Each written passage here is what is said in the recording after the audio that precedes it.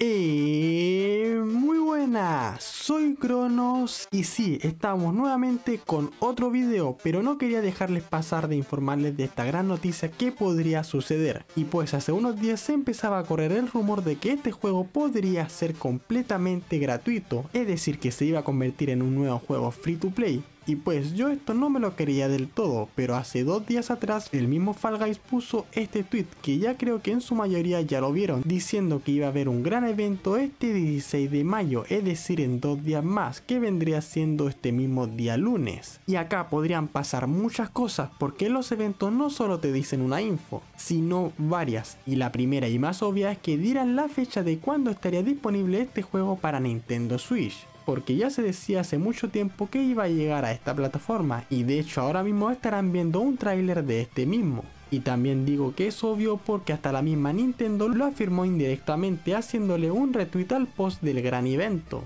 Y además también lo afirmó la misma página de Fall Guys mostrando a dos personas que si me preguntan no sé quiénes sean, pero se ven que en sus manos tienen los mandos de la Nintendo Switch. Así que esto ya no es ninguna sorpresa que anuncien la llegada a esta plataforma. Y yo creo que el evento es algo más grande que esto, como por ejemplo llegue a ser free to play y que sea para todas las plataformas, tanto para la PS4, Nintendo y la misma Epic Games, que de hecho en su store aparece como un juego oculto para el día 19. Y también se dice que este juego podría ser el mismísimo Fall Guys. Y esto me hace más sentido porque hasta en el mismo video que pusieron en su post se ve una caja de regalo y pues yo creo que ese sería el único regalo que habría. Pero ojo, esto no se lo podría asegurar al 100% y de hecho yo estoy en un 50 y 50 y solo tocaría esperar hasta el lunes a las 1am Easter Time, como pueden apreciar en esta imagen del video. Y entonces recapitulando, como ya les dije que llegará a Nintendo Switch y Xbox y su posible crossplay ya se sabe,